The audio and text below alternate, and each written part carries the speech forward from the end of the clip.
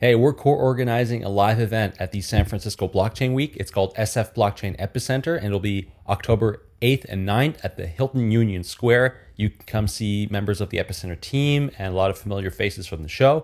Uh, there are reduced rates for developers, and you can learn more at sfblockchainweek.io.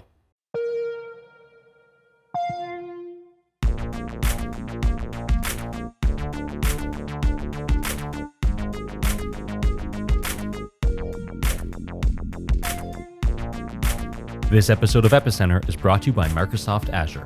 Configure and deploy a consortium network in just a few clicks with pre built configurations and enterprise grade infrastructure. Spend less time on blockchain scaffolding and more time building your application. Learn more at aka.ms slash epicenter. And by Toptal.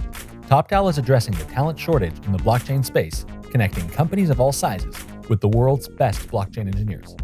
If you're looking to scale your team, check out toptal.com slash epicenter.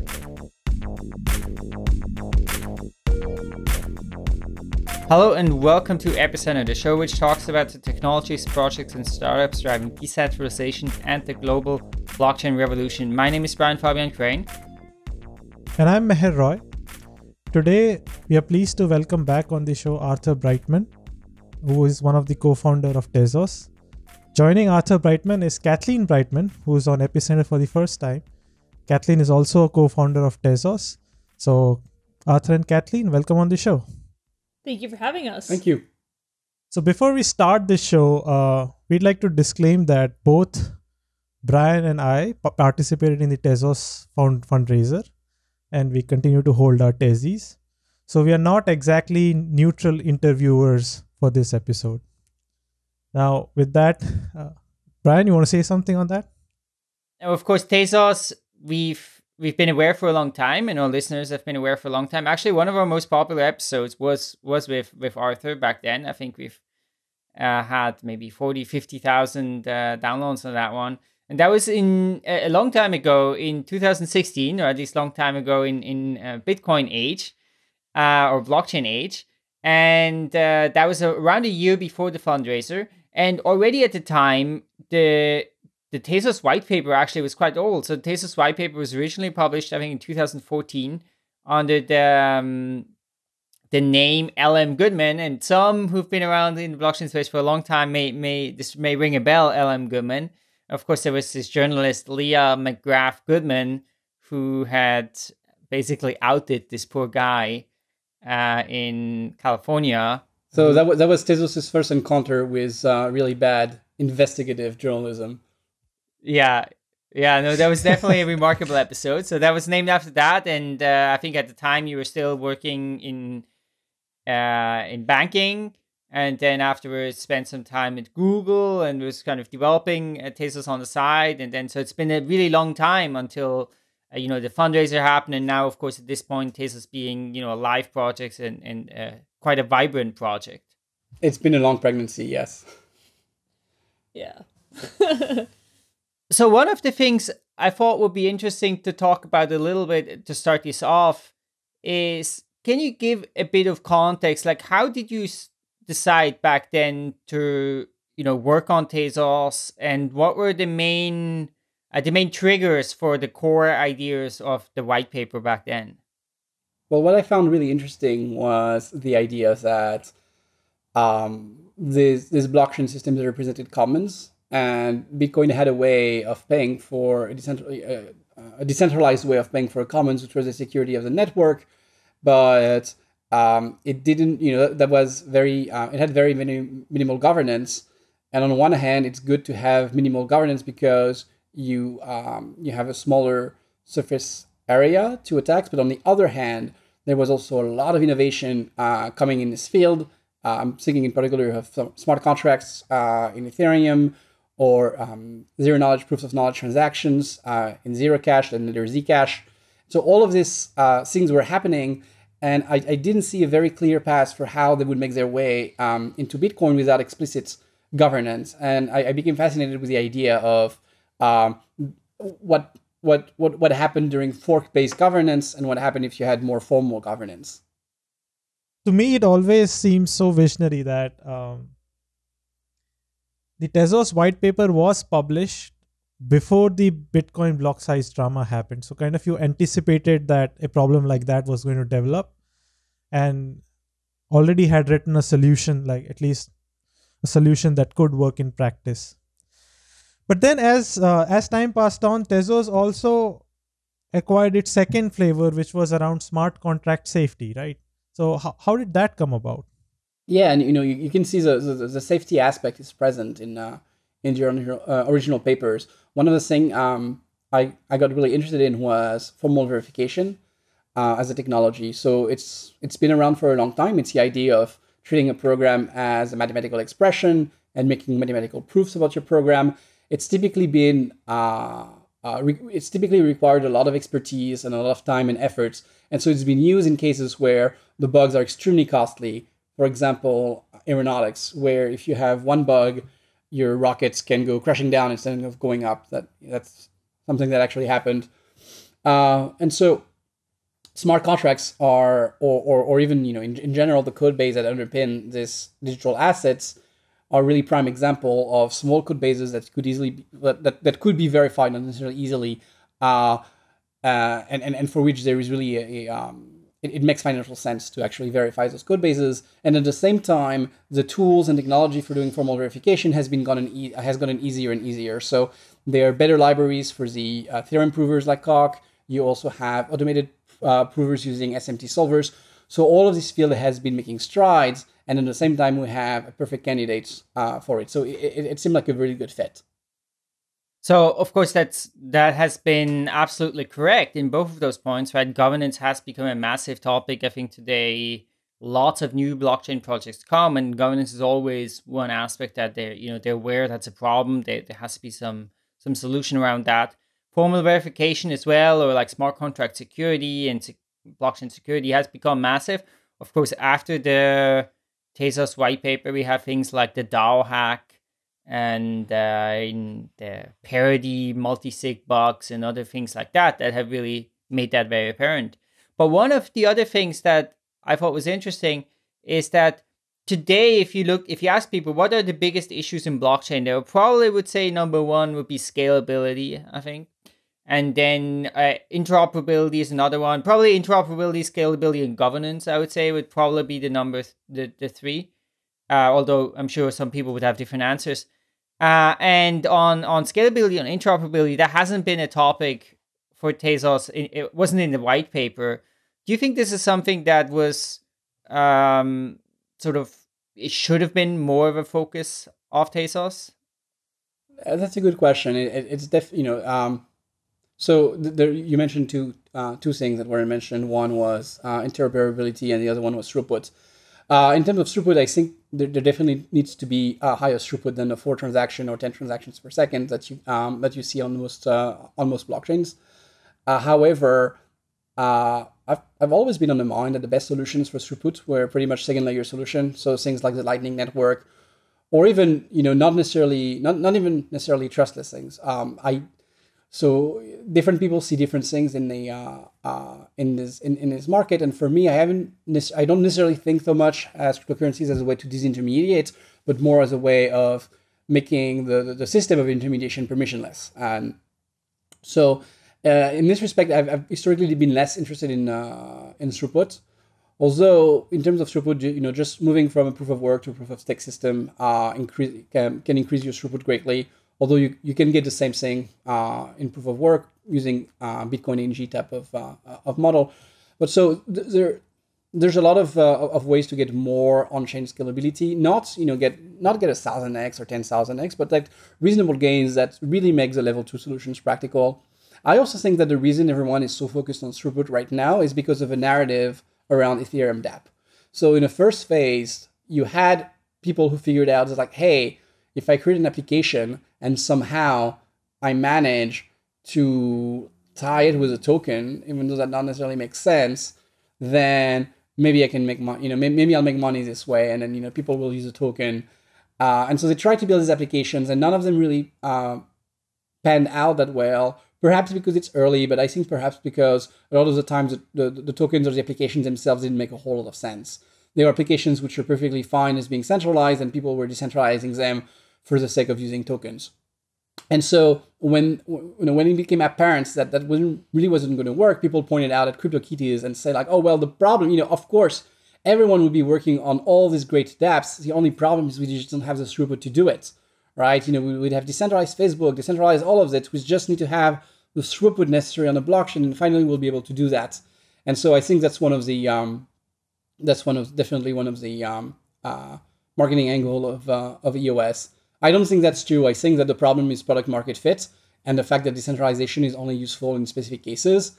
And so I I, I, don't I generally don't think that throughput is going to make dApps uh, popular. I definitely think it's going to make for the next few years uh, high throughput uh, blockchains popular because I think it's a beauty contest and people will, will use the throughput as a mark of beauty as opposed to something that's really uh, important for their platform.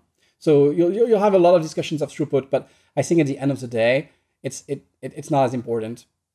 The other one is uh, interoper- interoperability. So interoperability assumes that you have many different blockchains, a very uh, heterogeneous ecosystem, and that makes sense if there's some trade-offs. So if one way to design a blockchain, uh, let's say you want to design a blockchain for smart contracts, and now you want to design a blockchain for payments, and somehow uh, making you know designing it for payments or for store of value makes it very different than the design you would use for smart contracts. Then now you need to have these two blockchains because you have all these different use cases which require different architecture. In that case interoperability would be very important because you would like these blockchains to talk to each other. But i don't believe that there's such trade-offs. I think there's very very few trade-offs in uh, in the design of blockchains. One of it is i think decentralization and throughput. Uh, that's good. Uh, I'm, more generally speaking, you know, how decentralized you want to be and how safe, and, and safe in a very like general sense. You want to make sure that uh, anyone can participate and everyone kind of agrees. So you proceed very slowly and carefully versus something more centralized uh, where you can go faster. So that's a real trade-off, and I think we'll see blockchains around that that that, that spectrum. But I don't think the other ones really are. And so since they're not trade-offs, I, I think one system will end up absorbing a lot of the uh, a lot of the rest. So I don't think interoperability is as important uh, as it's made out to be. So I'm I'm really interested in like two um, two very interesting ideas you put forward in in what you said. The first was you made a statement like uh, you weren't that interested in disintermediation itself, but in in making interme- intermediation permissionless. Did I state that correctly? Yeah, that's right. Yeah. Um, so let's let's go into that concept a little, little bit more. Um, what does it mean in depth? Could you could you restate the concept or like sketch out a vision for what it means for intermediation to be? Yeah, and, and I should I should state that I have you know I have many ideas about this space, and some of them I hold very very strongly. This is one of the more speculative one. I'm not I'm not I'm, I'm not as sure about that one as I would be about uh, about other things. So the general, you know, there's a general concept in economics that what you should worry about is not a monopoly, but really uh, not a de facto monopoly, but really freedom of entry, right? If you have a monopoly, but any company could come in and compete, it doesn't matter if they actually compete. What matters is that they can come in. And so the problem with financial intermediation is perhaps that there's so few intermediaries. If you have very, very high barrier to entry in uh, financial intermediation, then you're going to have lower quality of service, higher prices, uh, perhaps less trust. Whereas if anyone can participate, you have more competition, and so possibly you have uh, better service. So that's one um, that's one point of view. Uh, but there is something to be said about the fact that uh, blockchains and cryptocurrencies, for the first time, they allow long distance payment without intermediation. That's never happened in, in the history of humanity. So, you know, I would not I would not be too quick to just take that and say like, oh, that doesn't matter. Uh, that's certainly something that's important. But I also I also think that being able to have a lot of different uh, a lot of different centralized parties bloom and participate in a network of operation is uh, is is very helpful. In fact, if you look at uh, Lightning, uh, Lightning Network, some people of the Lightning Network say, "Oh, it's centralized. Look, it has to have all these hubs and spokes and so on and so forth." Yeah, but you have freedom of entry. I don't have to use your Lightning node if I don't want to. I can I can make a direct blockchain transaction. I can fall back on some other node. You have the freedom of choice. And at the end of the day, that's what really matters. And so as a result, I'm, I'm less concerned about the on-chain uh, transactions throughput uh, by itself. I see basically what happens on-chain as a fallback for a flurry of activity that happens off chain. The second interesting concept is um, you expressed like some kind of skepticism about the value proposition of decentralized applications in terms of their product market fit. And on the other side, like so decentralized applications, what are they? Well, there's an there's I tend to think of them as like applications that do not have a single individual like service provider or central server that's like serving that application. It's like a network of nodes that's serving that application. Mhm. And so you express like skepticism on the product market fit of decentralized applications, but you you yourself built a smart contract chain. What's the value proposition of smart contracts if not decentralized applications? So I think there's a people are starting to make a difference between, and it's not that there's a fundamental difference, but it, you know there's a spectrum between what people call a DApp and what people call a smart contract. So I I, I I heard about this DApp recently. Is that I, I, don't know the name and I don't want to point any finger, but it's a DApp that lets you, you know, you take some video and then it will encode the video for you. And there's a decentralized network of people who can encode your video and so on and so forth. And you know that's Yeah, fine. that's Livepeer. I'm not. I'm not sold on the idea that uh, that you need to do this through a decentralized network as opposed to uh, to a uh, as opposed to like facing a centralized website that gives you that service. And maybe I don't understand it. Okay, that that that, that can be. I just uh, I I don't see directly. On the other hand of the spectrum, you have something like a, a multi-sig contract. That's a smart contract, but no one would take a look at a multi-sig and call it a DApp. Okay, so there's also smart contracts because you want to make things like multi-sig contracts. Because if you have a smart contract language, implementing something like the Raiden network is a lot more trivial than implementing something like the Lightning network. There was this comment on Twitter recently uh, that I thought was really spot on. It was like something that's a paper in Bitcoin is like a blog post in Ethereum just because of the simplicity of having a smart contract language. So it's making it easier for people to write uh, contracts like insurance contracts. Or Well, I think I think uh, to put it succinctly, um, Arthur thinks that you know smart contracts are a bad name for smart contracts, and one thing he'd prefer is automated escrow. Um, so that gives you an idea of the amount of expressivity that he'd like to see in in these sorts of um, pieces of code. So Yeah, that's right. The idea of automated escrow is that look, you have some tokens which are like stuck in the smart contract, and you want to release a certain sum to certain parties depending on certain conditions. Uh, it's not. I, I don't say there's a substrate to just run uh, a, a full fledged uh, application, but you know, or, or uh, so yeah, automated escrow also alludes to the idea of you know just go to the blockchain for adjudication. You know, you were running an option contract, you had a dispute, you go to the chain, and then you verify uh, you verify what happened. So that's that's mostly the use case I, I, I see for it. That being said, again, I, I, I try not if, if I don't need to have a very strong conviction in something, uh, I won't. And so ob- obviously I want Tezos to be a platform that accommodates all kind of applications, including uh, including dApps if dApps want to use uh, uh, Tezos. Like I said, there's not a whole lot of trade-offs.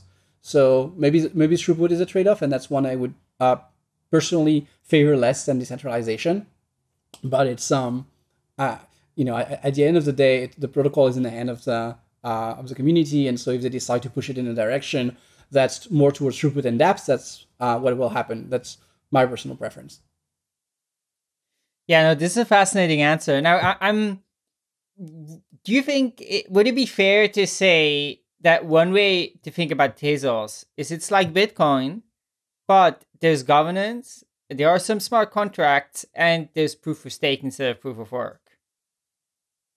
uh yeah yeah you could you you you, you, could you could say that And because because one of the interesting question, of course, is is if you, you had if you look at Ethereum and if you looked at the Ethereum basically pitch that Ethereum made back in when they did the, the fundraiser and afterwards it was okay, Ethereum is this world computer and you can run any kind of application on Ethereum and then it's trustless and in Ethereum the token or Ether the token is gas to pay for computation on this thing, right? So it was also from from a token perspective seen as a very different thing from Bitcoin, which may be this money. Um, so do you do you think when you look at Tezos, do you see those more in the kind of money camp than in the gas camp, or how do you look at that? Yeah, it's interesting. When when uh, Ethereum came up with that uh, that pitch, I thought they were being Straussian. You know, I thought they were they were saying, of course, it's a cryptocurrency, But if we say that we're competing head on with Bitcoin, people are not going to take us seriously. So we're going to find a differentiator, say that Bitcoin is gold, and say that we're gas, and that way people will see value, and then we can establish ourselves as a cryptocurrency. That's how I that, that's that's what I thought was going on because in my mind it was clearly a cryptocurrency. Uh, but no, I think they meant it. Uh, now I, I now think they meant it. For me, I mean these things are primarily useful as money, and so I, I see it as a cryptocurrency. But that being said, I don't think you have to be in the uh, in the application camp or the money camp, or, or it, it's worse. People tend to cluster is like, okay, well you have privacy coins, and then you have money coins, and then you have application coins. Hang on, like I said, not a whole lot of trade-offs. There's no reason why you can't have privacy, you can't be money, and you can also be used to power uh, gas and smart contract. I mean, at the end of the day, uh, if you know, it's not like physical gas. It's not like you have gas and then you have to break down the molecules. You're just paying. You know, you're you're paying uh, miners or bakers to include your transactions. And if you're going to be paying them, you're essentially using money. So it's money that's used for a certain type of application. And the best money is the money that you can use for the most uh, type of use cases. And so, you know, be it gas, be it payments, being everything that you can think of. If you've listened to previous episodes with Marley Gray and Matt Kerner, you know that Microsoft is committed to providing enterprise grade tools and infrastructure for blockchain developers. Well, the Azure Blockchain Workbench is perfect for organizations building consortium networks. Take the Ethereum Proof of Authority template, for example. It's ideal for permission networks where consensus participants are known and reputable. Ethereum on Azure has on chain network governance that leverages Parity's extensible proof of authority client. Each consortium member has the power to govern the network or delegate their consensus participants to a trusted operator. And Parity's WebAssembly support allows developers to write smart contracts in familiar languages like C, C, and Rust. Azure Blockchain Workbench was created on the same principles that drive all production services in Azure, so you know you're relying on secure, redundant infrastructure that can scale. And with built in services like authenticated APIs, off chain databases, and secure key management services, you can scaffold your infrastructure in just a few hours. To learn more about Azure Blockchain Workbench and how Microsoft is advancing blockchain usability in enterprise, check out aka.ms slash epicenter and start building today. We'd like to thank Microsoft Azure for their support of Epicenter. Recently, uh, the guys from Multicoin, they've had some interesting uh, thesis around that.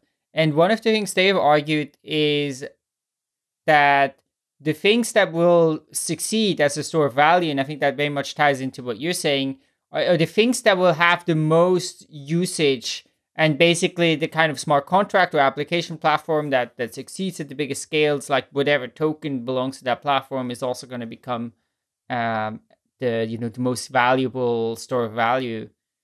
Does that kind of tie into? Yeah, yeah, no, I would I would agree with that thesis. Although I think that they are very, very, str- there's very strong history to this. And so just by virtue of being the first Bitcoin as a very massive lead, uh, and, and, and it's not clear that being able to be used for smart contracts is enough of a benefit to uh, to change a selling point in people's mind that you know Bitcoin is it. And so that's that's really really a, an uphill battle for any uh, any cryptocurrency out there, including for Tezos. Yeah, including for Tezos, of course. Okay, okay. More more so for Tezos than Ethereum because yeah. Tezos is newer to the game. Yep. Very interesting. So, so in a sense, like Ethereum tried to create, at least like publicly, this different market of a world computer and this asset as gas in that world computer. Whereas your perspective is like all the cryptocurrencies are ultimately stores of value. They are all they all compete with each other, including Tezos. Pretty much, and I and I think that most of the dApp cryptocurrencies, even though they ha- are being used as store of uh, a store of value, because uh, they basically have given have gotten a money like characteristic. They're cars. People are using them as uh, as money and a store of values, uh, more than uh, more than anything. But but but but but there's there's conversions in uh, in, uh, in in in in money, and I think you you end up having the most liquid one or the most useful one be the one that dominates. Yeah, and I mean part of the reason that there's a conversation around this that that talks about it as like an app for one thing is because you don't want to say like, yeah, I'm competing with Bitcoin and I'm competing with Ethereum because there's a lot of entrenched players and entrenched um, interests, and you don't want to go head to head with it. You want to say like, no, you know, no, I'm not competing with Ethereum because you see, I will be the application for dog walking on the blockchain, and so you can't say that I'm competing with so and so. Um, so I think more you know, for being intellectually honest, um, we're all kind of operating in the same space. Is just very few people want to admit it because it, in, it invites a lot of vitriol um, towards you uh, the second you start to say this. Yeah, but there are people who know that these things are competing. It's crypto Twitter. Crypto Twitter is pretty bad, but if you look at it, and the reason you see so much animosity, I think, is because deep down people know that these things are competing against each other. Well, yeah, that and a lot of time on their hands. But yeah, Yeah. Yeah, But uh, you know, just because you're competing doesn't mean that it has to be like a, a like a, a ferocious, like an ugly, an ugly battle. I think right now, uh, I I I don't want to steal your quote. Oh well, it's not my quote; it's Paul Graham. No, but I, I always, oh, I, I think uh, people overstate the amount of animosity between different project uh, leads. Um, I think Arthur and I have a pretty good working relationship with a lot of people who work in this space who might be considered our competitors. Um, because, as I like to say, but I appropriated from Paul Graham. Um, you know, a, a startup doesn't usually compete against um, other startups. It usually competes against people not giving a shit about it. So, um, And that's really, even more true about blockchain protocol. even more true about blockchain protocols because really like if you look at the amount of people who actually use this in their day-to-day it's, it's actually quite meager um, compared to the amount of hypes and headline headlines that have been um, circulated around this so really you know a rising tide lifts all boats um, you know relevancy for one blockchain uh, helps out all the others um, it's it's not you know it's not crazy to to posit that um, helping out one project become relevant, um, you know, helps the others.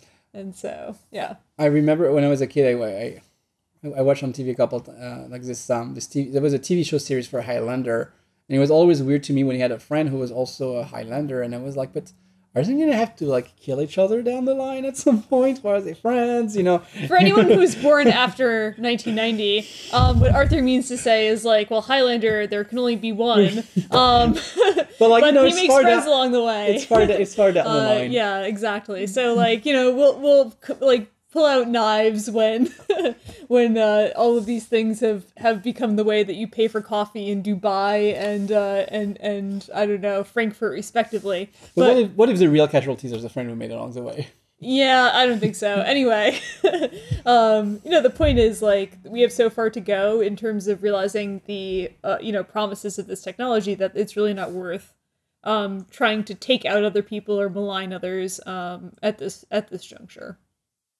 So that that's a very interesting perspective and like i i'm like tempted to contrast it to a lot of different projects in this space like the clearest contrast to me comes out with DFINITY, right? Like, so a project that's trying to build, like, you know, like Facebook on the blockchain or Gmail on the blockchain.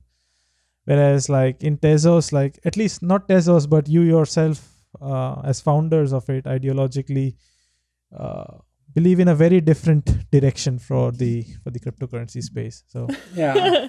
Look, at the end of the day, if everyone, if you know, DFINITY comes out and everyone starts building all these applications on DFINITY, and it becomes clear, and everyone starts using them, and it's great, and everyone loves them, you know, at this point, I'm like okay, I, I guess we need, I guess we need to have throughputs. Uh, you know, the, the main thing to know about Tezos is that it's an evolvable system, uh, which which is really designed to favor innovation and evolvability. Uh, I, I I- think the, uh, the there's a lot of ideas in the uh, uh, DFINITY consensus, which are really interesting. Um, the idea of doing uh, like sortition, but like a, a Bayesian agree- agreement with sortition, using a threshold signature for getting your randomness. All of that are really good ideas.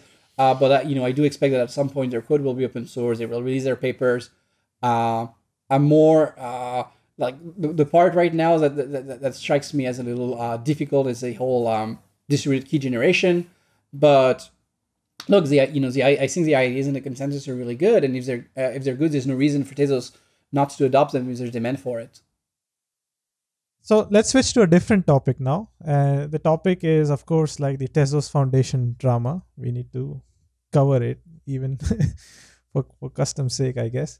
Um, uh, so, so like yeah, Tezos broke out in the in the media and in the crypto narrative because of the Tezos Foundation drama. It attracted a lot of attention. So, could you just like walk us through what really happened uh, in this episode and You maybe wanna- some of your learnings I'll from you it? away. Well, well, you know, basically, like Johann Gevers was called self-dealing, and so he fabricated a scandal with the help of Reuters in order to create ambiguity. Uh, and also, he had like a lot of contacts in the crypto valleys that he leveraged to protect himself. And so, you know, what should have been a fairly uh, straightforward removal of a uh, board member who committed improprieties turned into was made into a scandal by Reuters, who was trying to sell copy. Uh, but thankfully, um, you know, an outlet that has far more subscribers and much more page views, Wired, actually took the effort to find out both sides of the, you know, so-called scandal, and uh, quickly it became obvious that, um, you know, Arthur and I were quite wronged by this um, man and his uh, accomplice, Guido Schmitz Krummacher. And uh, yeah, I mean, all's well that ends well. Like, uh, thankfully, Tezos was in such a good place that, um, you know, the network was able to ship uh, relatively on time and uh, you know, no harm, no foul. I mean, if the Swiss really want to live up to the expectations that they set for everyone who they give tours of the Crypto Valley to, um, perhaps they'll prosecute Johann Gevers for um, you know disloyal management, much like they did, uh, you know, the folks at FIFA. I think this is in the same ballpark of of malfeasance. Um, but yeah, like we don't spend that much time thinking about what a South African masseuse thinks. um, so why should you? one of the interesting uh, parts of uh, like at least the occurrence of events as i saw it is um, so you had like three board members so johann gevers guido Schmitz Krummacher, and then there was diego Ponz so the diego as i understand it was always uh, very supportive of uh, of the two of you I think Well, Diego, as- su- yeah, Diego supported the technology because he understands it. That's you know a first asset. Um, Diego's also not a fucking crook, so that helps. so yeah, you know, Diego had a bit of an up on the two of them, but nonetheless, he he still had a backbone. Um, yeah. Yeah. No, I think the man showed um, like remarkable resilience. And yeah, I mean the thing is, is like the board had a two out of three failure, uh, because I think because of the concentration in a crypto valley. So like the board had a two out of three failure, and I actually thought like your hand, Diego's hand was just too weak because like it was almost that like Johann and um and Guido had had you cornered in some sense. That is that is the impression I got. But then things suddenly turned around and like the situation solved. How how, how and why did Johann did give up control? Well, there's a few things going on here. First of all, Johann is a terrible tactician. um, Yeah, but look, w- w- without just spending too much time on this, I think essentially what happened is that, um, you know, he gives this very weird talk uh, in January at the crypto uh, at the crypto conference, you know, with large quotes of himself, and the community which had been misled by Reuters into thinking this was a dispute, and like he said, they say they were like, okay, no, this guy is nuts, and he was obviously nuts, and Reuters knew that, you know, they they they, they did this on purpose. Uh, and so, you know, once that tilted, the community released their support behind an initiative that also came from the community called the T2 Foundation. And when it became clear that the T2 Foundation was actually going to be the one uh, releasing the protocol, uh, I think it forced the hand of uh, I think it forced the hand of the first foundation, who had to uh, who had to basically understand that you know they would their, their position was becoming untenable.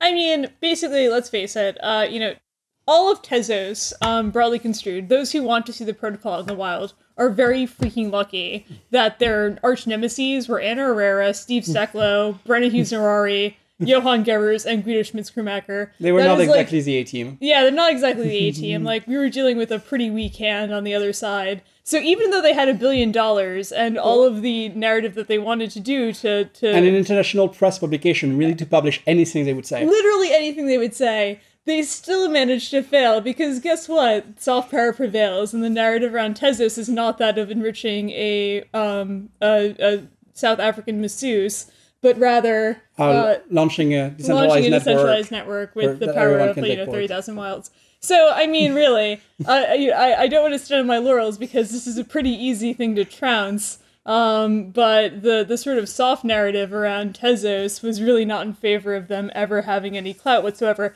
I mean, even the mere suggestion that Tezos would never launch, which is what Reuters tried to write twice, um, once in September because they didn't understand what a put option was, and the second time, uh, you know, when this whole governance crisis came through, um, the the whole suggestion was that Tezos would never launch, even though there were forty thousand lines of code that have been running on a testnet for over almost a year. Sixty, but you know, it's like, Yeah, still, like, yeah. There's like, no, there's, the there- technical illiteracy there's that is no one technical who would Yeah, have looked at Tezos and say this thing would not shape. Yeah, it's just like it's annoying in in the short term, At but the it's end of the hilarious in the long term. I don't know if it was malice on their part and just you know wanting to like knock an ICO down or like you know one of these things, or if it was just like pure incompetence. But you know the end result was basically the same, and I think they made a complete fool out of themselves. I mean, the horror stories around Anna alone are just worth warranting, you know, its own examination. that's for but- another time. Yeah, that's another time. But in any case, like, it's not worth it's not worth dwelling on folks who could never like compile the code around Tezos to talk about how uh to talk about how like you know they made a kind of a kerfuffle around this.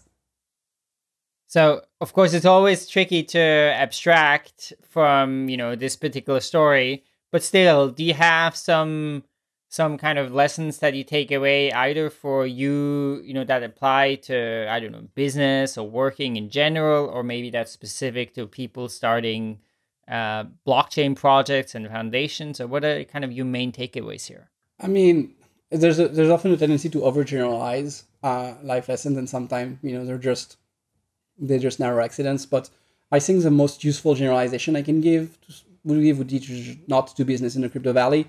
I think they value their image a lot more than they value integrity, and I, I don't think it's a good place to uh, to do business. They try to be uh, to be very very attractive of these things, but at the end of the day, uh, they haven't really attracted uh, enough uh, technical talents, like not a critical mass, and yeah, they you know they haven't been reliable when when uh, when Tezos suffered, they were nowhere to be found and or, or to help. Well, I mean, what's more, you know, when when the whole Gevers fiasco kind of came into play, um, we were told by many people who were more than happy to say nice things about Johann prior to um, us, you know, going to this contract with the Tezos Foundation. Oh yeah, Johann's a great guy. Um, but pretty much in October, everyone was like, "Yeah, no one likes that dude," and we're like, "When were you going to tell us?" um, and you know, it kind of spans the gambit from from uh, regulatory officials to to people who worked for Monetas, um, who actually contributed to the Tezos fundraiser. What we witnessed overall was a lot of cowardice. Yeah, a lot of cowardice. Um, yeah. So uh, I mean, I just would never do business there um, anymore. anymore. Yeah. Um, another thing is, uh, you know, th- well, I guess No, that's, that's- that's, the main that's- that's takeaway. Actually, yeah. yeah. Sometimes it's just uh, just that simple. Okay, that's great. And so, is are there ideas of moving some of the Tezos Foundation out of, of there as well? I mean, I know, for example, Ethereum, they have shifted some activities to Singapore, although I guess the foundation's still there, so I'm not totally sure to what extent. But um, is or is this that something Tezos Foundation is there and, and has to stay there? You should have them on the show to ask the question. But I know that there are other foundations around the world which are active, like uh, Tezos Korea, Tezos Japan, uh, TCF in the US. So there are uh, there are a few other foundations. I don't know what the uh, Tezos Foundation intends to do. Yeah. Have you ever considered that one of the biggest factors holding back growth in the blockchain industry is the lack of talented available developers? By some estimates, there are up to 14 job openings for every single blockchain developer in the world. That's where Toptal comes in. Toptal is a global network of talent in business, technology, and design, and they pick their members by selecting only the top 3% of applicants. When you work with Toptal, you're getting the creme de la creme. They've got a blockchain specialization that's an on demand service that connects your business to an elite network of developers and engineers specializing in areas like Solidity, smart contracts, Hyperledger Fabric, R3 Corda, decentralized applications, and more. What's best about Toptal, what I like the most about this service, is they take the stress and pain out of hiring. Who has time to publish job openings and sift through resumes and schedule interviews and all that stuff? It's a white glove service, so they take care of everything. And a Toptal Director of Engineering will deliver the best candidates for your position on a silver platter in as fast as 24 hours. And from there, your company can work with your new hire for a no risk trial period and you pay only if you're satisfied. So simplify your hiring process and access the world's best blockchain talent. For a limited time, Epicenter listeners are eligible for a $1,000 credit after the first $2,000 paid towards their first hire. To learn more, go to toptal.com slash epicenter, and we'd like to thank Toptal for their support. So recently, like Tezos launched its mainnet, right? And um, tell us how the how that how that experience has been and how the mainnet has shaped up. Uh, I think the experience was rather uh, you know, the word that's been mostly used was smooth.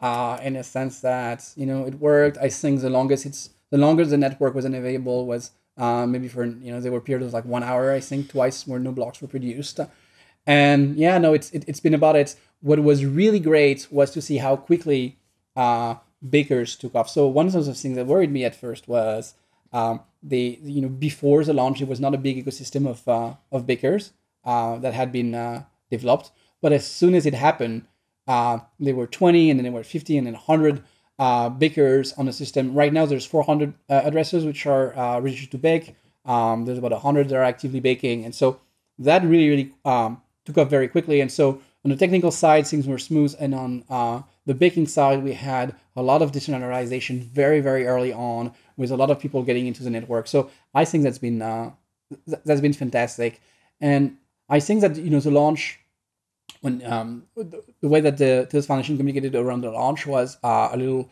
uh, low key.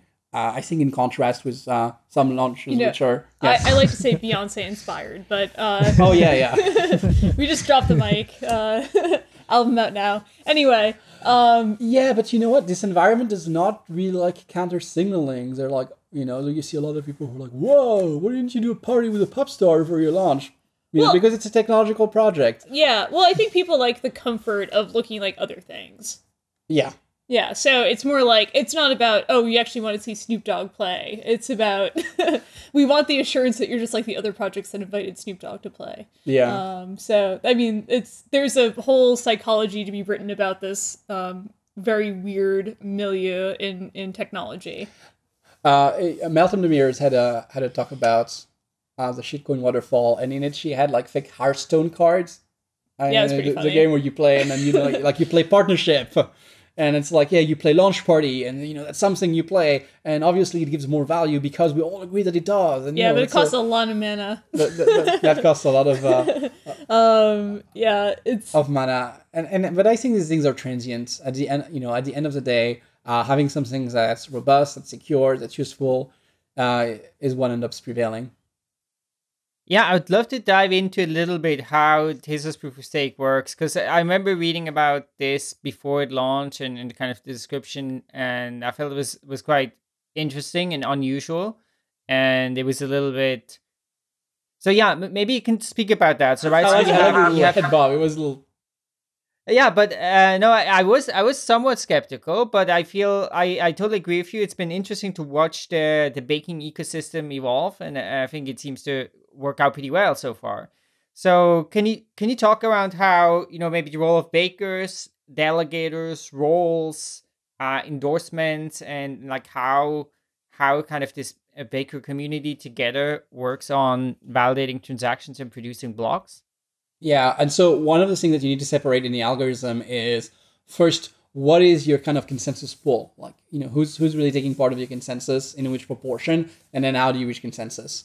Uh, so the first part, you know, who's your consensus pool? So it's based on proof of stake idea, and one of the one of the design goal of Tezos um, is that even if you have a very very small stake, uh, you can still have a very very small influence on uh, on the blocks. Yes, the idea being like if you have 0.1% of the network, you should be able to create 0.1% of the blocks. That's one property that I wanted to uh, that, I- that I like about Tezos that you don't have uh, in uh, uh, in systems, for example, like DPoS. So I wanted to preserve that property, but you also need to have some form of delegation um, because a lot of people are not necessarily going to be online or not going to uh, run machines. So there's the idea of this optional delegation model where you can uh, make you know bake yourself, create blocks yourself, or you can give that right to another key, uh, which can be controlled by a different machine, by someone else, by a consortium. So you have a, a wide variety of option. And then, so you know, when, once you do that, you have this idea of uh, saying, okay, so now you have different these different keys which you can create blocks, and they all have different balances. You add a uh, coin tracking mechanism to it. It's a technique known for the Satoshi.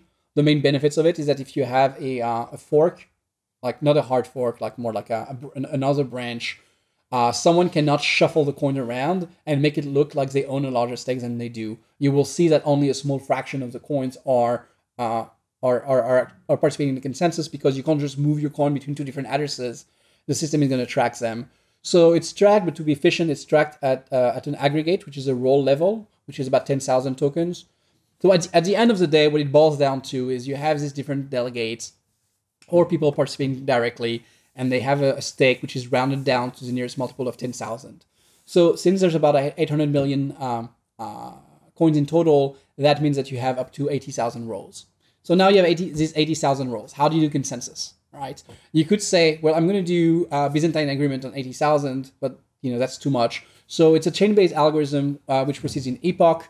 Uh, one epoch is 400 uh, 4,096 slots, and in each slot you have a random priority. So it's your turn to create a block, and then the next turn it's someone else's turn to create a block, and so on and so forth.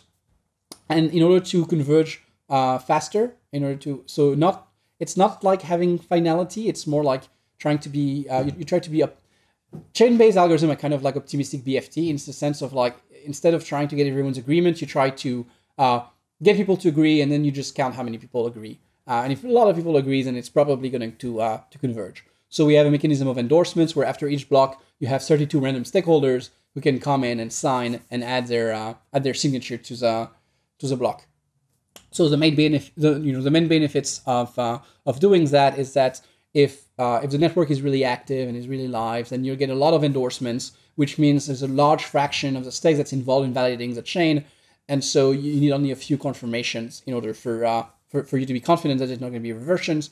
And if the network is not working as well, you'll get few endorsements, and then you'll wait a little uh, longer to get your uh, your confirmations. So that's basically the algorithm. I think um, you know uh, the closest uh, other algorithm that I can think of in this space would be Ouroboros, which is uh, would uh, turn out to be very very similar to to the algorithm for Tezos, with the difference that it doesn't have the the endorsement aspect, but you know it does have the benefits of uh, being simple enough that you can do a full uh, mathematical treatment of it, which is nice because you can actually prove par- uh, properties about it. Whereas in Tezos, and that's maybe one of the things you were uh, alluding to when you were shaking your head a little bit, you have more um, heuristic arguments of uh, of safety.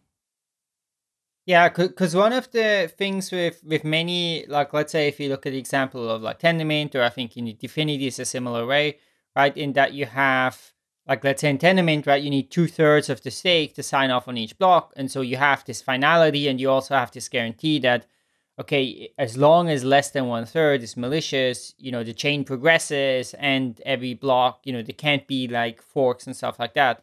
So here you you don't have that, but of course at the same time you, you have this probabilistic characteristic that you know maybe you sort of implicitly have that because you would have to get extremely extremely unlucky to have you know a bunch of malicious entities being chosen as block proposals in a row or how do you look at that kind of resilience to a, a group of malicious bakers So the way you analyze it, short of being able to do full mathematical treatment, is mostly simulation. So um, and, and and that's what I refer to when I mean the um, the heuristic argument. So you simulate a system where you have, for example, ten percent of the stakes that's not doing anything, uh, fifty percent of the stakes that's uh, participating, and maybe forty percent that's malicious.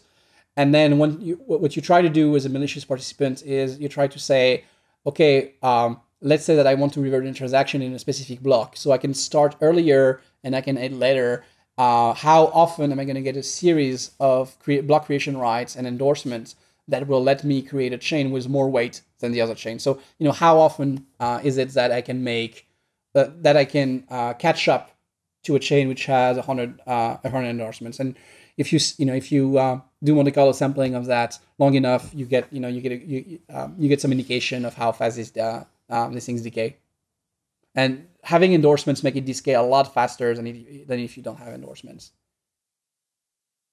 Okay, so but you basically have this characteristic that uh, a little bit like similar to Bitcoin, maybe that right. You have this longest chain, and it starts becoming very unlikely that somebody can create a longer chain. It's not longest chain; it's it's total number of endorsements. That's the weight. Yeah. Okay. Okay. So it's like it's it's it's like chain, but with this yeah added endorsement. I mean, endorsement is purely a subjective thing that you know. Let's say I, as an exchange, will take into account if you send if you deposit some Tezos on the exchange, and I might say, okay, what are the endorsements currently in the chain, and how many transactions do I need or confirmations do I need until I say I credit your account? You, you don't count confirmations in blocks. Ideally, you count confirmations in endorsements. And r- right right now, I think the recommendation is wait 30 blocks because there's still some uh, there's still better numbers which are pending, which are based on uh, on confirmation. In practice, I think yeah, given that every block has like 32 confirmations, I think in practice after a couple of blocks, uh, you're probably uh, you're probably fine. But uh, you know, waiting for these, uh, I think it's important to wait for these uh, these numbers. So uh, both Brian and I uh, have spent significant part of this year working to build a validator for the Cosmos network. And in the Cosmos network, that's also proof of stake. But Cosmos has um, has the property that when a block is produced with a set of transactions in it and a set of greater than 66% of the validator set signs off on that block, and if I'm a user and my transaction is in a block like that, when I see that single block, I can be like, okay, my transaction is confirmed and it can it cannot be reversed. Right. So there's that like there's block finality at the point uh, the block is produced actually. Yeah. Does Tezos have something like that, or do I as a user need to wait a few blocks, many blocks before considering my transaction final? No, yeah, you have to wait a few uh, uh, a few blocks. So basically, the idea of something uh, finality in something like Cosmos is that you're gonna get until uh, everyone, and not everyone is two certain, but like a, a sufficiently large fraction uh, of, of of everyone agrees on everything, and they're not gonna you know, and they're not gonna agree until they agree. So potentially, it can potentially sometimes it can take longer for them to agree, but once they agree, you know that it's not gonna move. Whereas here, you'll get some of like a tentative agreement. They're like, well, you know, it looks like they're starting to agree and then you'll wait a few blocks. But the thing is, is like, you know, what's the difference between finality and something like a 10 to the minus 9 probability of reversion if you wait for a certain amount of blocks? So for me, I, I, I don't see the finality as opposed to waiting for a few blocks to be that big of a that big of a deal. What does seem more important to me, uh, and to the benefit of Cosmos, is that Tendermint is a um, so, so you know, uh, Bitcoin uh, or Tezos, they're both synchronous protocol, whereas you can do partial synchrony uh, with something like Tendermint, which means essentially that in Tendermint you can afford to go as fast as you want, and then maybe you won't get to go that fast because maybe you'll have network delays or attackers that delay. So maybe you'll take longer to reach your uh, consensus, but there's no harm in trying to try and get it very, very fast. Whereas in, in Bitcoin, for example, you have to set 10 minutes between blocks because you don't really know how much an attacker can delay blocks. And so you have to kind of like set this high conservative value. It would be nice to say, like, I don't know what the delays are, but so I'm going to try to go as fast as possible. And then if there are delays, I'll go slower. But if there are no delays, I'll go fast. So to me, that's one of the main, uh, you know, the, the uh, not being fully synchronous, I think, is one of the main benefits uh, of these approaches. And and for that, you need something like a like a like a Byzantine agreement. I mean, I've been thinking of different chain-based algorithm, and so one possibility is if you notice that you're missing some slots. So, for example, uh, a block that was supposed the first block that was supposed to be produced is not produced, and so now you have like the second priority. So if you notice that, you could increase the times. You could say, "Ha, you know what? I'm missing some blocks. Maybe they're being delayed by an adversary, so I'm going to wait longer." So you could do that, and it's funny because if you do that, then you're you know you're, you're you know you become safer against attacks but at the same time you start slowing down uh, more when there are attacks and so you can think of it as a continuum uh, between safety and liveness like you know you can get slug you can get more sluggish and more sluggish but still have liveness and have more safety so there's really uh, a continuum between the two now that being said i think that when bitcoin came around so the, the two reasons for doing something like uh, like a chain-based algorithm is i think when uh, when Bitcoin came around, there was this idea that people would just like open their laptop or their computer and participate and go online and go offline. You don't really know who's going to be online and offline. Whereas quickly this thing has become professionalized. Uh, all the mining pools are professional. Uh, most of the bakers on, on, on Tezos are professional or semi-professional. And so since you since these people are going to be available anyway, the risk of the risk of not of not being able to find two third is actually I think lower than what was anticipated when when Bitcoin was designed. Well, yeah, it was the main argument for Bitcoin. It was like anyone could participate in the mining process and get them involved, and quickly it's becoming not the case. Um, yeah, so I, I, I don't know how much of um I, I I'm I'm generally wondering how much of uh, how, how much are you losing when you're doing finality on every block, and then the other problem is say well okay but what if I have you know eighty thousand rolls I don't want to just like select the top 100 because I don't want to be, I, I, you know, I want the person who has 0.1% to do 0.1% of the blocks. But on the other hand, I don't, uh, you know, I, I can't do Byzantine agreement at this scale because it's just like way too many. And then you get into stuff like DFINITY, where you uh, where you just like randomly select uh, uh, uh, like a, a, large enough sample, and then you do Byzantine agreement between them. Uh, it seems to be a matter of taste. Yeah, yeah, but you know, at the end of the day, I think everyone's kind of overbuilding for the uh, for the demand right now in terms of consensus and throughput. So there's a lot of really cool science uh, and engineering that's being done all around. Uh, I think it'll, it'll, it'll come down to what applications actually need. I, I think that is a main uh, a main differentiator for Tezos though is like this idea of inclusivity um, for anyone who wants to participate in in the algorithm. But I think we're getting a little off topic if we go down that rabbit hole. Yeah, no, absolutely. Tezos is uh, Tezos is not married to its consensus algorithm. You nope. Know, they're they're, uh, they're dating, and he and, and and Tezos has a wandering eye. Yes, yes, it does. so, uh, of course, like Tezos can change the consensus algorithm. Um, but is that something that you will actively pursue and if if if so are there particularly attractive targets that you want to evaluate uh, I so like I said, there's two parts to the consensus algorithm. You know, the first is like how you select your, your quorum, and so the roll and delegation model in Tezos, the uh, LPOS model, I think is is pretty good, and that thing is uh, that thing is rather solid. Uh, what you could improve though is uh, the lag between uh, you uh, delegating tokens and then having creation rights. A lot of these logs are um, created for security and for randomness generation. So if you can improve these things, you can reduce this lag. Uh, yeah, no, I definitely uh, I'm interested in improving the Tezos um, consensus algorithm. I'm you know reading the literature uh, when it comes out, thinking about it. I think the first the first order of business is uh, is improving what already exists in Tezos. I think the randomness generation is an easy way to improve it. Uh, you know, uh, using uh, also uh, a trick used in, uh, in several projects is to do a PVSS in order to generate randomness. So we have that uh, in a branch, but it's not in the main. Uh, it's not in the main branch. So adding that would probably be uh, be a good addition. I think the block time could be reduced a lot for the first slot. So maybe you know you get like you can you get your first slot within 10 seconds, but then the second slot takes a minute. So that way you get to have a block every 10 seconds when everything goes uh, uh, goes well, and if there's some delays, you still have it's still very forgiving uh, before someone else can start stealing uh, stealing slots. So uh, improve. You know, once we get uh, better simulations, better formalization of the consensus algorithm, we'll be able to uh, to tweak it uh, and get better performance out of it, and then start evaluating what's out there and what's what's the best bet for for Tezos. Um, but yeah, there's a lot of projects with a lot of big big claims coming up, and uh, proof is in the pudding. It's really hard to execute, um, but we keep a close eye on them. Yeah, but I, will say that I really like. Uh, so I really like Tendermint uh, as an algorithm. I you know one one compliment I've made before is that you know they made consensus boring. Uh, in a sense of like it's really classical, uh, it's a really classical method, but at the end of the day, you get so much better properties, and there's a lot of really uh, weird and cool science being done in chain-based algorithms. But at the end of the day, what are you really buying you know when you're doing a chain-based algorithm? So i think that's really cool uh, doing sortition uh, uh, in uh, doing sortition in, uh, in tendermint uh, like DFINITY is doing is really cool. I don't think you necessarily need to do it with threshold cryptography. You could be using something like pvss to slowly generate randomness and do that. So i think that would be a, a fairly easy path to to take.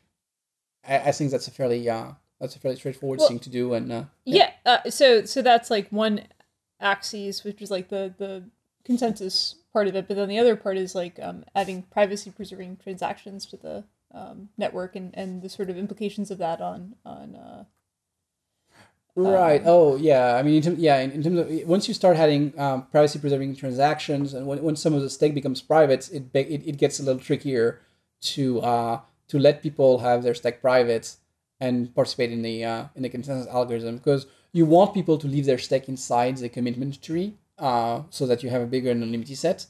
And but you, other, other but so so these people should be getting uh, baking rights but it complicates uh, it complicates matter quite uh, quite a bit. So that's an interesting aspect as well.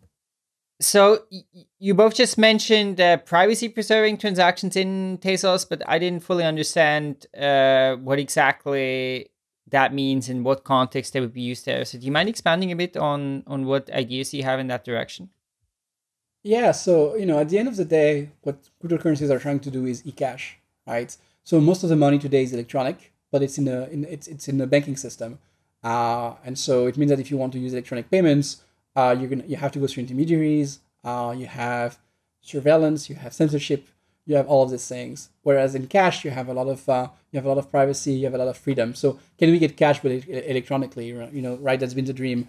And one aspect of cash that's really not replicated by Bitcoin or Tezos or Ethereum for that matter is the privacy aspect. You know, you're it's kind of the opposite of privacy. You're broadcasting uh, your payments to the entire uh, your entire world, and you know, based on your payments, you could be uh, you could be targeted, you could be discriminated against. Um, and also, you know, I, I think just not having privacy curdles uh, personal expression. Uh, there's things that we want to express in the private sphere that we don't necessarily want to uh, express in the ledgers that's going to be recorded uh, for everyone to see for all of eternity, right? So, uh, in that respect, privacy is super important, and there are different ways uh, that people have tried to tackle it. You know, early on, CoinJoin with uh, with Bitcoin and then uh, efforts around uh, ring signatures and crypto notes, confidential transactions. Uh, the most privacy you can gain is basically with zero knowledge proof of knowledge, like Zcash is doing. And so for me, that's the most interesting technology to deploy on Tezos to to have private transactions. So yeah, so you mentioned privacy preserving transaction. And of course i think many many of us will, will be in agreement that that's a very important thing. And i think that brings us to another topic which is you know one of the main main topics around Tezos, which is governance. So how actually would something like that be implemented in governments how would the community reach agreement? So governance was of course one of the main um, selling points one of the main uh, areas of focus for Tezos so what's implemented right now in terms of governance? And are there any activities already in Tezos uh, in terms of people making proposals or people building systems to vote or like what's the kind of state there right now? Yeah no so uh, in, in, terms of what's implemented the, the, the, voting procedures that described in the in the white paper is implemented. Uh, so it's uh, uh, a vote in several phases where in one phase many people make different proposals then you have an approval voting phase to select just one of these proposals then each proposal is submitted to a vote then you go into a testing phase, and then after the testing phase, there's, a, there's another vote to approve it. So that's the process. Um, there hasn't been any uh, proposal made. There's active development in the GitLab repo for Tezos, and so you know probably I think what's going to happen is at some point one of the uh, the master branch will start getting frozen into a proposal branch, and that branch will be uh, uh will be proposed within the community. Uh, and then yeah, the idea is that the bakers who are uh, uh, who represents a uh, different amount of stakes gets to vote on that uh, on that proposal. So basically, like this, this as I understand it, there's two phases. So one is the phase of uh, like approval voting, which is like should we consider this proposal seriously or not, followed by actual voting, and then uh, in actual voting, I'm assuming there's some form of quorum and percentage of affirmative votes needed and once that's there uh, prior to the voting process the new client code base will already be uploaded somehow to the network. And then if there's enough votes you switch automatically. Is, yeah. is that that's yeah. So the automatic switch that already happened on the network uh, the network switch pro, you know the, the first thing the network does is switch protocol. So the genesis block in tezos is actually a block that signs and activates a protocol which then starts. Um, so the, the, the, protocol change uh, that's, that's happened on the chain, it hasn't happened yet as triggered by a vote. So that's the next step. Cool. So when do you expect we'll see see one of these uh, changes for governance followed by client switch? Hmm, I I don't know. Right now, there's um I think you know I, I speak to different uh, teams working on Tezos, and I think right now most of these uh, most of these teams are really uh, using the time after the launch to really get up to uh, get up to speed on the code base, really understanding in details, uh, clean you know uh, clean it up as much as possible. Uh, what needs to be clean, uh, add uh, documentation. So I think we're really in a, in, in that phase now. I, I don't think it's exactly clear when uh, when there will be the first proposal, but I think def- I mean I would be surprised if it if it were in more than six months. I would be surprised. Well, there haven't been any proposals to date. Is another No, there hasn't Yeah. been proposals to date, but you know there there's an intention to take whatever is a master branch of the GitLab and make a proposal out of Yeah. it. So of course, like there's been quite a bit of skepticism about uh, the idea of there being a vote in a decentralized system, followed by an automatic client switch. And one of the issues that has been pointed out by Philip Daian, who's I think he's from Cornell, is that like cryptocurrency based voting systems are vulnerable to vote buying on a on a grand scale right? So if you have a normal democratic process um, let's say the us election uh, people can bribe voters to vote in a particular way but then there's no way for them to verify that somebody they bribed actually voted the way they wanted them to because the voting is probably in the form of some electronic voting machine or paper that doesn't leave a certificate of how the vote happened. But like with with cryptocurrency there's a there's of course you can build uh, technology that allows people to prove that they voted a particular way and therefore you can have smart contracts where i as large scale governance attacker can create a bounty where i pay xyz tezzies to people that vote a certain way and and basically attract bribe an anonymous group of people to vote the way I want by paying them money. Uh, do you think this is go- this is this is going to be like a practical issue in the Tezos governance mechanism, and how will you deal with it? I think this issue is uh, this issue is uh, is really interesting, and it's strongest when you are trying to do uh, one person one vote, right? If you're trying to do one person one vote, then obviously you're gonna have uh, like uh, there can be a lot of bribery happening, and also on top of that, you have the problem of ident- identifying people. Uh, in Tezos, the type of vote that you have is more one token, one vote, and so as a result, people already have uh, you know they have an incentive to vote. Uh, uh, in a reasonable way, just based on uh, just based on their stakes. And so you could try to uh, you could try to bribe people, but if you know if, if the decision they make is bad, it's going to end up hurting them, then you would need to spend a lot of money for this uh, bribery. And I think ultimately, it's better to try and, and prevent bribery through this kind of economic incentives by ensuring skin in the game, than you know that, that than by trying to uh, you know to to, to, to, to try to um to obfuscate vote. That doesn't mean you can do both. I mean, there's definitely a very uh, wide literature in uh, uh, in cryptographic voting, and what Tezos is doing is very, very uh, uh, simple, and it's all just a public broadcast. At the end of the day, if you don't have something like a, like an isolation boost, it's really hard to uh, prevent the person from just you know giving you their key. And the thing is, like we're we're talking about really uh, kind of remote scenarios where like, oh, you know, you bribe me, but I don't completely trust you. So give me an SGX attestation that you're going to get my money back. I mean, you know, people just like trust weird exchanges to not steal their money.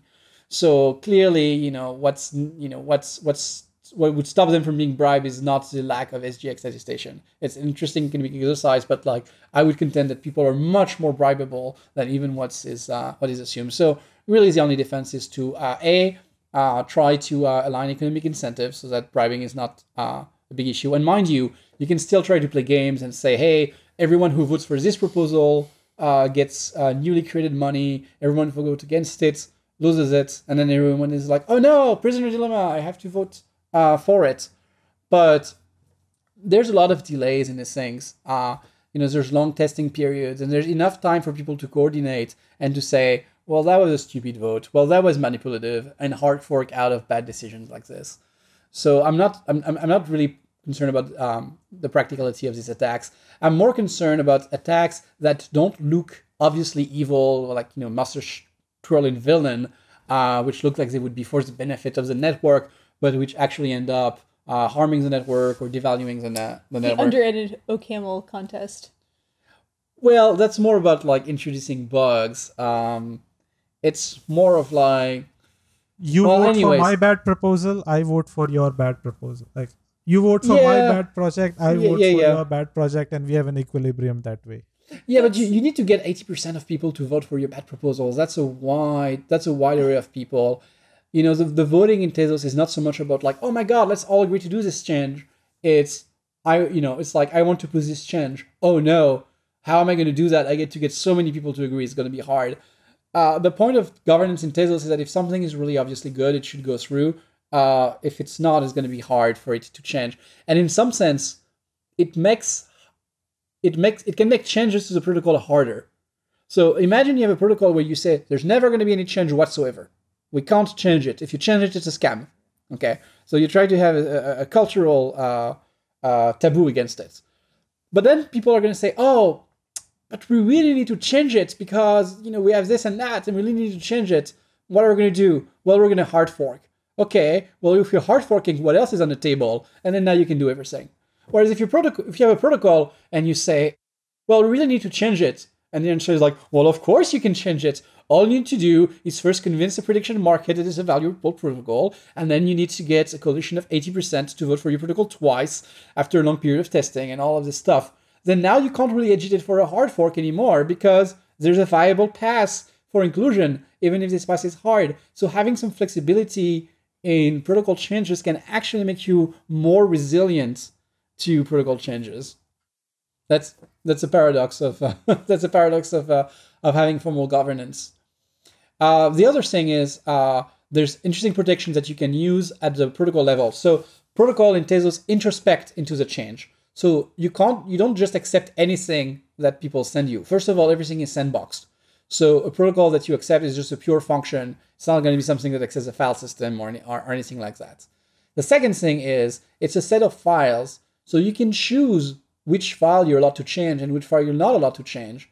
So in the OCaml module system, it's pretty straightforward to create a module that handles all of the token creation and token movement and token destruction. So it's fairly straightforward in Tezos to have a rule that says, hey, you know what, you can change a protocol with a vote, but you cannot have, you cannot create more than 10% of token a year. Like you can't do that. If you want to do that, you need 95% of the vote, for example. So you can you can introduce these rules. You can go even further and say we'll have a proof checker in the protocol, and then unless you have a formal proof that you verify such and such properties, then you won't accept uh, accept your change. So there's a, there's a lot of things you can do to improve the governance beyond uh, simple voting. It, the point of voting in Tezos is not to give everyone a voice. It's to make good decisions. Yeah, I think the biggest um, misconception that we come across is that Arthur and I are somehow like pro democracy, and we came up with Tezos because we're like pro democracy and pro everyone having like a voice and a, and a way to express themselves. Like, really, governance is um, a procedure that's a means to an end, and the end is is a better way to incorporate new innovations into the blockchain. Um, and so it can take a lot of different manifestations beyond just one one token, one token, one vote. Yeah. Um, you know, people, the, the idea of democracy is not to, so I, I think in, in general political system, the idea of democracy is not to give power to the people, it's to destroy power. Because you have a lot of people who have a lot of power, and instead of coordinating and, and making a revolution, they're going to vest all of this power into someone who doesn't really have any power. And so that's a really neat way of like not having power and not doing things in uh, in, in in a government. I mean that, that that's my take on it more than uh, more than anything. But you know what?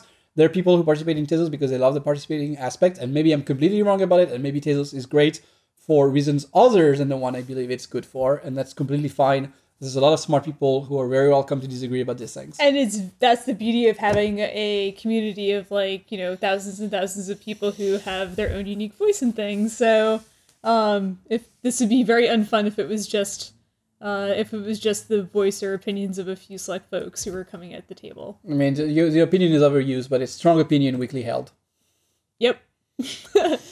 Cool. Well, let's speak briefly a bit about. Well, uh, first of all, on on the governance side, I'm super excited to see this in you know in real real action when some proposals come and and we'll actually see some upgrades and all of that. And uh, and I think it's going to be one of the most interesting areas of of experimentation in governance in the next few years. And you know, let's see which way it goes. But I would love to speak a bit at this point about the Tezos community. So there has a community emerged since the fundraiser and since the network launch. So can you speak a bit about, you know, what are some of the main players in this community? And also what is the role of uh, sort of your company, at DLS, uh, you know, going forward and, and the relationship between the company and the foundation? Um, so I'll let Arthur take the hard question first, which is what's the relationship between DLS and uh, the foundation? Because I think that's something that's very poorly understood, but deserves uh, clarification. Yeah, so so originally Tezos was developed by this company called uh, Dynamic Ledger Solutions. Uh, it was a pretty boring name. I think it's, it's it was purposefully boring, uh, and it um, and it was uh, developed with a team of programmers uh, at OCamlPro. And so the foundation signed the Tezos Foundation signed a contract with DLS back in back in June, I think, of of 2017. And after that, uh, they basically took on the responsibility to uh, um, to uh, to develop the project and to further its ecosystem. And so when Gevers and Guido reneged on their obligation to do that, uh, DLS uh, tried to keep in uh, to keep involved to keep the uh, project going. But so you know now that uh, the foundation has a functional board, we've taken back seats and Tezos itself it's being developed by many companies, Nomadic, Obsidian, Cryptonomic. So um, and there's uh, one that's just started in uh, in Japan. So there's really an array of, uh, of developers around the world working on on Tezos. And I think like for for Kathleen and uh, for Kathleen and I, at least for myself, what I uh, what I try to do is uh, is meet with these developers and uh, uh, you know and try to sit down with them and say like, uh, hey, you know, here's what I think about the consensus algorithm. Uh, this type of this type of things. Yeah, we we spend a lot of time evangelizing, but we have no formal role within the foundation, and DLS doesn't or hasn't over for over a year um, had any contractual relationships with any development shops. So um, it's a very interesting uh, interesting yoke it wears reputationally, but um, yeah, it doesn't have it doesn't have any formal role within development um, current day. Um, but as I mentioned before, there's like um, tens of thousands of people in the Tezos community. Yeah, we did have a contract back in uh, back in January. Oh, yes, but it's been a while. It's, No, I- I- June, June. no, no, no, no, in, in January, Kathleen. Oh, But- okay. But not with the not with the foundation. But With it, over, yeah, okay. it, it fe- it's it's felt like more than a year. Yeah, sorry. Um, it's it's time dilation is an issue here. Um, but I digress. Um, yeah, back in in July of 2017, at least. Um, you know, thirty thousand wallets were open for the Tezos fundraiser. This represents you know tens of thousands of people across the world. Um, there's many more people in the Tezos community, arguably, than those who participated in the fundraiser. But um, for sake of argument, you know that's a good good metric or a good number to kind of put our hat on. Um, you know, since the fundraiser has has occurred, and since the board has been governed by um, you know sane people, uh, there's been a lot of uh, interesting, in, interesting, more formal and informal ways that the community has come come around. Um, one of them has been in in terms of um, uh, nonprofit foundations across the world, um, notably uh, Tezos Japan and Tezos Korea, which have taken the mantle of, of evangelizing and um, creating meetups and whatnot. Um, uh, you know Baking classes. and baking classes uh, Yeah. and, and really getting into the, the roots of the technology. So um, we see a lot of uh, strong presence in Asia and strong presence in um, the US and in Europe um, for, for interest in Tezos um, as, and Latin America as well. Like Tezos Brazil is a pretty big baking uh, baking cohort. Um, Yeah. yeah. And that's truly the strength of the network. Like that's something that can't be easily either, you know, disbanded or uh, or replicated. Um, so we see that as a true strength of Tezos is the number of people who have, uh, you know, shown an interest in this technology. Just to clarify briefly, so you mentioned DLS had a. I mean, of course, DLS was the company you you founded, and that was originally started working on Tezos. And you mentioned that DLS had a contract and was kind of working for Tezos Foundation, but not anymore. So is it, does that mean at the moment neither of you has a kind of you know formal work uh, engagement on behalf of of Tezos, and you're just sort of working uh, on your own time, or like what does it look like at this point? Yeah, pretty much. Uh, we're I- working on our own time. I like the term fun employment, but you know, not formally working sounds good too. Yeah. And and is the idea that down the line are you are you planning on building DLS into like an organization or like so you don't have it or, building out the team to work on Tezos or maybe starting I don't know different types of uh, projects or building things on Tezos or what do you what are your long-term plans? No, no. So the, the agreement was that the fund, uh, you know, uh, DLS itself would be uh, acquired by the uh, uh, by the by the Tezos Foundation, and you know, it remains to be seen what you know what what they want to do with it. But uh, you know, that hasn't happened. We haven't made money yet, but we have a pretty comfortable lifestyle, so we're not in any rush. Um, yeah, I mean, I think just logically, like, you know, Arthur and I are hold officer positions in DLS. I'm the CEO, Arthur's the CTO. Um, moving forward, I think it makes more sense for me to focus on the application layer, for example, and it makes more sense for Arthur to focus on um, the protocol layer, as he's just outlined. He has many ideas about it. Um, I have less conviction about what types of um, libraries ought to be added and, and whatnot. So, um, so we just in general like our natural uh, our natural interests kind of lead us to to separate at this point. Um, and so I, I you know I'll look forward to doing my next thing um, and Arthur do his uh, his his role with Tezos, whatever he winds up wanting to do. Um, but the logical endpoint for our association with DLS has always been, um, you know, the launch of a network that was robust enough uh, that the foundation felt comfortable with. So, um, holding to that, uh, holding to that, you know, uh, I guess milestone, um, it doesn't really make much sense for DLS to to operate much further. Yeah.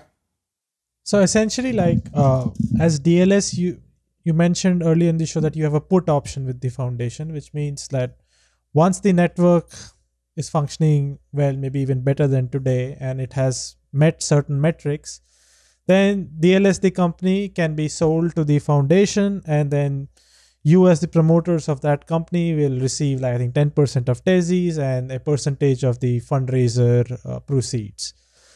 And thereafter, sort of you can form your own other companies to either focus on protocol development or application development and this will be completely independent of the tezos foundation.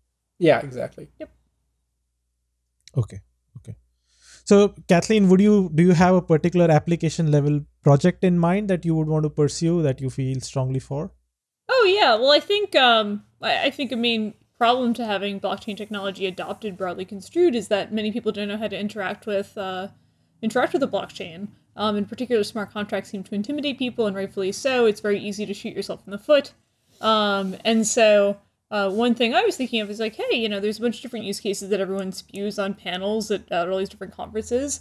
Um, the one that I find to be the most engaging is online video games because I don't think it's a coincidence that one of the most popular applications that, that started to use Bitcoin uh, was a Magic the Gathering exchange. Uh, so these people have a sort of uh, natural natural disposition towards um, using digital assets first. And so I want to focus my efforts on understanding how people might interact with smart contracts, and it makes sense to that end uh, to use uh, video games as the hook um, for for building up better applications and tools. And I found a really cool co-founder. Hopefully, we'll have some news um, over the next few weeks um, about the exact direction we want to take things in, but I don't want to jinx myself. So um, thank you for asking, and I'm sorry I can't be a little bit more explicit with my intention, but uh, that's the idea.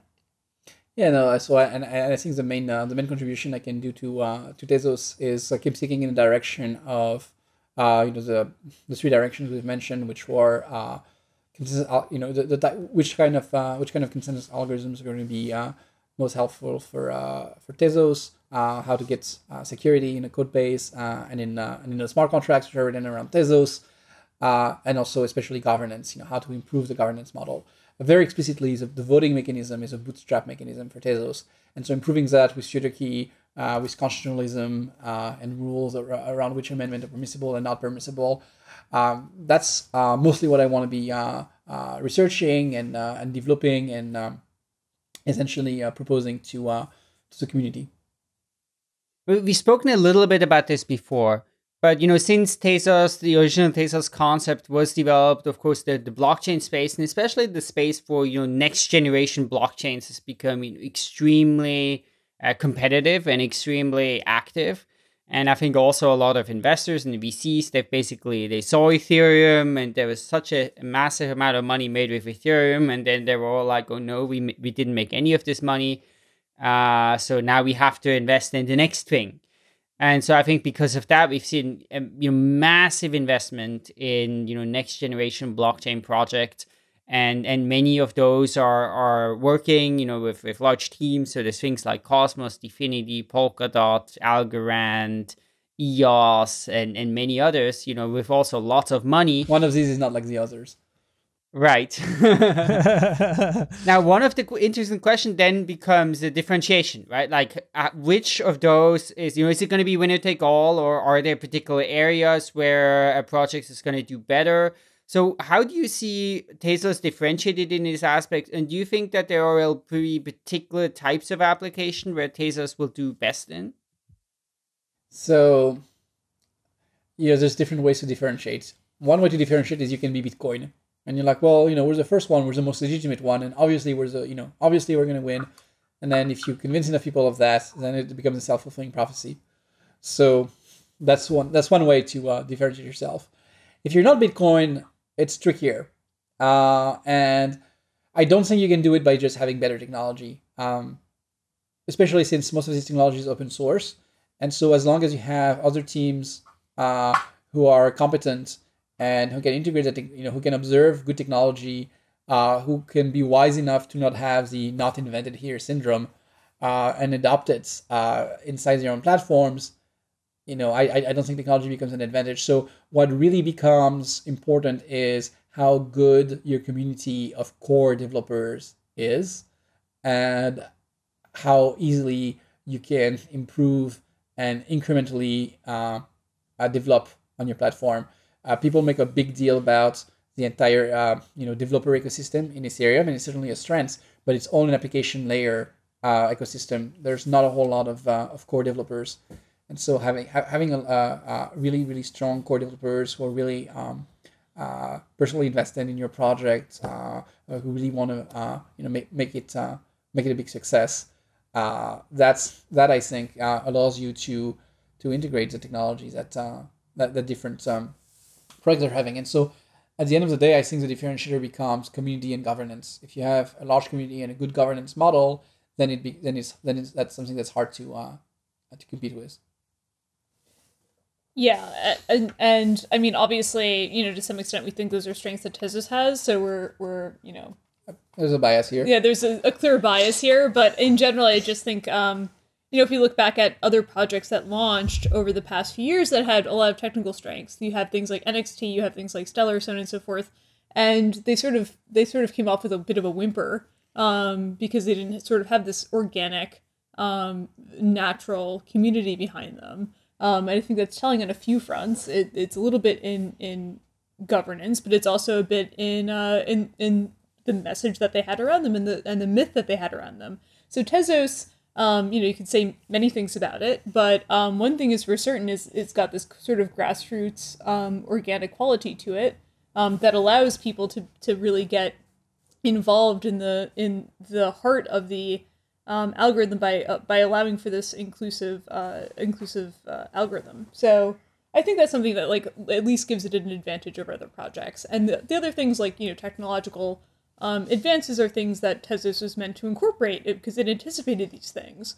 Um, so I don't think. Uh, I yeah. mean, yeah. It's also you know it's also a field where you succeed by not face planting. So you know if you're uh, around long enough and and you stick around and you don't have major problems and and you and, and you keep being used just by by virtue of doing this for a long time, I think you gain uh, you get a lot of uh, credibility and uh, uh, and resilience. Yeah. Uh, just by just by doing this. So and it, and it, and it's not easy. It's not easy to have longevity in this space. It, it's tough because a lot of the narratives around other projects um, really start um, around what they what they promise to deliver, and very very few of them actually focus on what's there today.